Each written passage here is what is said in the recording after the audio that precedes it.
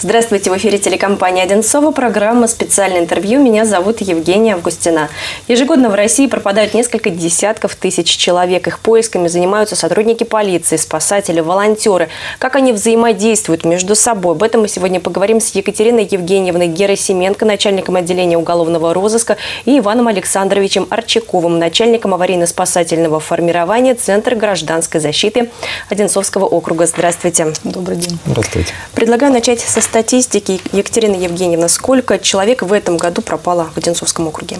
А, за 9 месяцев в Одинцовский городской округ э, поступило более 600 сообщений о пропавших без вести. Большинство из них найдены.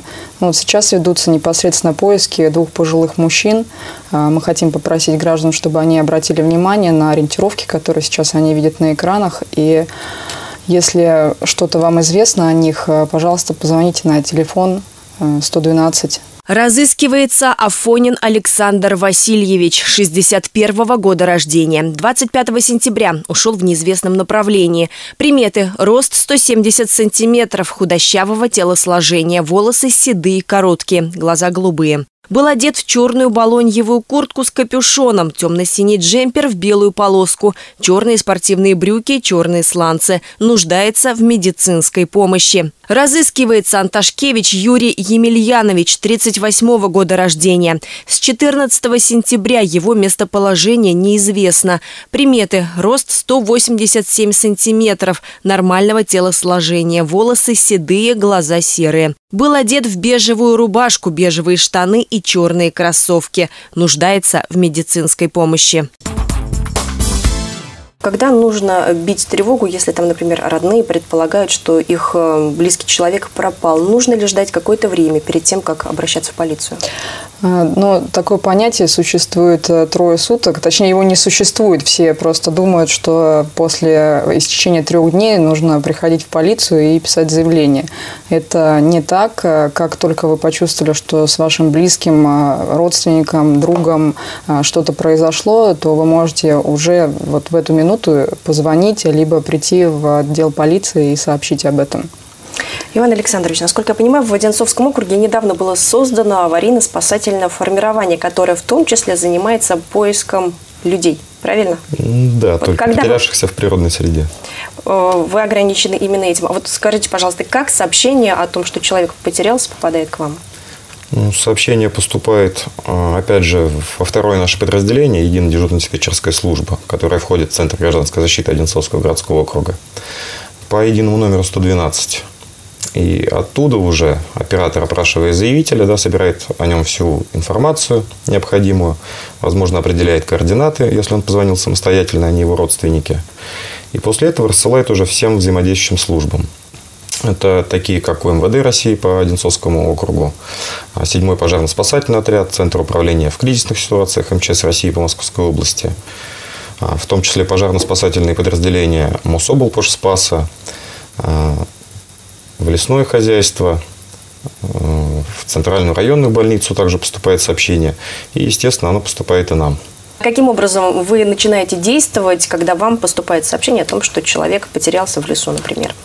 Ну, после того, как сообщение рассылается вот всем взаимодействующим службам, э, от управления МВД России по Одинцовскому городскому округу э, всегда выступает координатор поисков, он же руководитель этих поисков.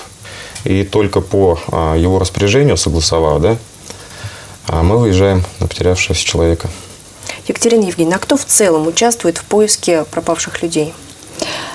Ну, вот как Иван Александрович сказал, в несколько служб у нас поступает информация, и для того, чтобы мы друг другу не мешали, мы должны наши действия согласовать.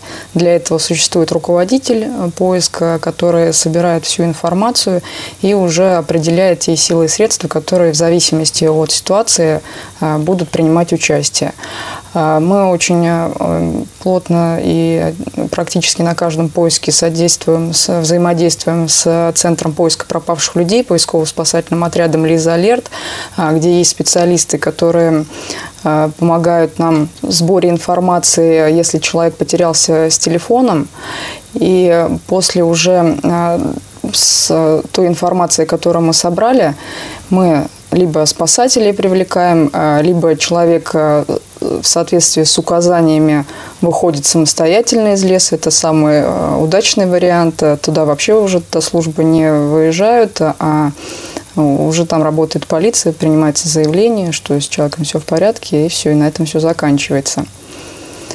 А вот так, если ну, говорить опять по статистике, в каких, при каких обстоятельствах чаще всего люди пропадают? Вот мы уже так поговорили немножко про природу, пошли в лес за грибами, заблудились, не сориентировались. А какие еще ситуации чаще всего встречаются?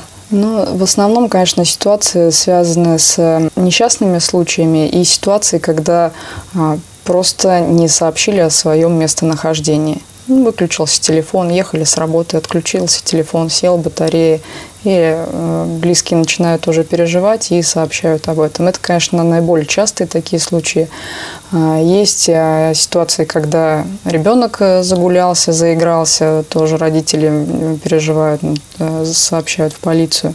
Ну, если ребенок загулялся, родитель сообщил, вот этот вызов, скажем так, будет считаться, это обращение будет считаться как ложное обращение? Нет, конечно. То есть можно не бояться, можно с ним Нет, бояться ни в коем случае нельзя. Естественно, нужно сначала принять меры к с, э, поиску, ну, позвонить в те места, допустим, если он ушел к другу, к подруге, там, да, э, секции там не пришел. Естественно, с этих мест наиболее вероятно, где он может находиться, можно начать. А, и потом уже обязательно нужно сообщить в полицию. Можно сделать один телефонный звонок на 112, и также можно прийти. Можно сделать и то, и то. Э, чем быстрее вы сообщите, работа начнется а, после этого сообщения сразу, незамедлительно. Иван Александрович, а что должен знать человек, который отправляется в лес, вот, чтобы не стать частью той печальной статистики по грибникам? Нужно соблюдать э, элементарные правила да, при походе в лес. Это в первую очередь, конечно же, взять с собой мобильный телефон, убедиться в его полной зарядке. Обязательно с собой надо брать хотя бы фонарь элементарно, спички или зажигалку. Если человек принимает лекарства какие-то постоянно, без них как бы в лес тоже идти нельзя. Если на случай поиски затянутся. Вот. Желательно родственникам или друзьям предварительно сообщить о том, куда он собирается. Чтобы даже если у него телефон сядет, он не сможет самостоятельно позвонить 112, они смогли хотя бы приблизительно сказать, где он может находиться. То есть вот эти нехитрые правила на самом деле могут э, уберечь человека от большой беды, правильно? Да. Конечно, нужно собираться так, чтобы на тот случай, если вдруг э, вы потеряетесь, и чтобы вы могли какое-то время до прибытия к вам помощи э, безопасности находиться. То есть вода еда какой-то, ну вот прям какая-то шоколадка, которая поможет продержаться несколько часов до прибытия помощи. Екатерина Евгеньевна, вы сказали, да, что в поиске также активно участвуют и волонтеры. Расскажите, пожалуйста, как много в нашем округе волонтеров, кто эти люди? Вот, э, ну, как правило, что их заставляет присоединиться к добровольцам в поиске? А, ну, у нас на территории Одинцовского городского округа большое количество добровольцев, э, и приезжают и, и не только с Одинцовского округа к нам, а и из других районов. Недавно у нас был поиск, когда э, рядом с Одинцовским городским округом проходили учения, где собраны были добровольцы со всей России. И они прям с своих э, практических занятий поехали на реальный поиск. И вот за одну ночь, э, мы, можно сказать так, всей, всей России нашли быстро э, парня, который пропал. Я так понимаю, что все заинтересованные в поисках людей службы участвуют в учениях. Иван Александрович, насколько наши спасатели часто, ну, скажем так, тренируются быстро находить людей? Да, у нас уже неоднократно проходили совместные учения а, с другими службами. Чаще всего это с УМВД, с привлечением добровольцев а, с поисково-спасательного отряда «Лиза Алерт», также с вертолетного поисково-спасательного отряда «Ангел», прошли уже несколько выездных тренировок в лесу, да, где отрабатывали именно на практике методы поиска людей, потерявшихся в природной среде. А, последняя такая выездная тренировка прошла 17 сентября. То есть прямо вот буквально, буквально недавно. Да, недавно. Успешно? Успешно, многому научились. Слава богу, но будем надеяться, что все-таки не так часто эти знания будут требоваться. А, мы с вами уже частично поговорили о том, что делать, если вдруг ребенок вовремя не пришел домой. А что делать, если человек пропал, не объявляется, взрослый? Сразу бежать в полицию, пытаться как-то самостоятельно найти. Что делать, когда делать? Ну, я уже говорила о том, что э, необходимо начать э, с того места, где последний раз а, был пропавший. А, потом необходимо уже позвонить э, на телефон 112, либо прийти непосредственно в отдел полиции в территориальный. Э, ну, в отдел полиции можно прийти в любой.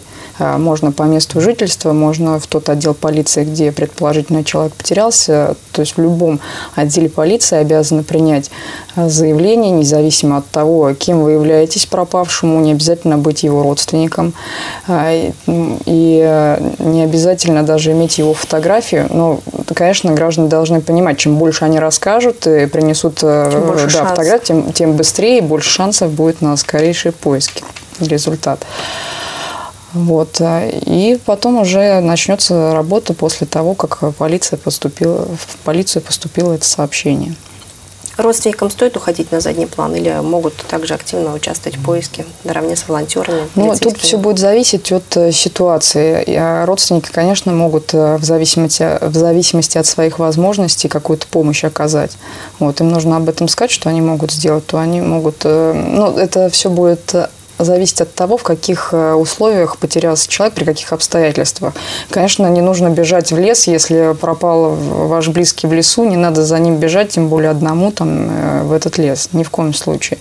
Э, если вы можете физически пойти в лес, то вы обязательно будете включены в состав группы поисковой со старшим и уже можете таким образом помочь. Кстати говоря, почему люди теряются в лесу? Идут в какие-то незнакомые места или какая-то дезориентация происходит в пространстве? Ну, в основном, э, в основном, да. В основном это приезжие москвичи, которые не так хорошо знают наши леса. Они там теряются. Но и очень много случаев, когда люди э, заходят даже в более-менее знакомый лес, а, но тем не менее не то, что теряются, они могут выбраться из бурелома. То есть, с одной стороны бурелом, с другой стороны какое-то болото. И вот в таких ситуациях тоже приходится реагировать, да, выезжать и помогать им выбраться. А сколько спасателей готовы отправиться на поиск людей? В аварийно-спасательном формировании ежедневно на смену заступает три спасателя. То есть э, ежесуточно вы готовы в любое да. место Одинцовского округа? В любое место Одинцовского округа. А, ну и мне кажется, стоит закончить нашу сегодняшнюю программу советами. Что делать, чтобы не оказаться в числе пропавших без вести? Вот подытожим немножко, говорили сегодня об этом много. Какие правила безопасности стоит соблюдать? Конечно, нужно чаще общаться со своими близкими, знать, где находится ваш ребенок. Сейчас очень много средств, с помощью которых вы можете определять местонахождение вашего ребенка. И также это касается и пожилых родителей и родственников родственников. А, с помощью операторов сотовой связи это можно делать и с помощью различных приложений. Ну, если ситуация произошла в лесу, то есть человек потерялся в природной среде, а как только он понял, что он потерялся, он должен сразу же, оставаясь на месте, немедленно позвонить по телефону 112. Спасибо большое, что пришли к нам сегодня в студию. Спасибо всем, кто провел свое свободное время вместе с нами. Берегите себя и до новых встреч на ОТВ.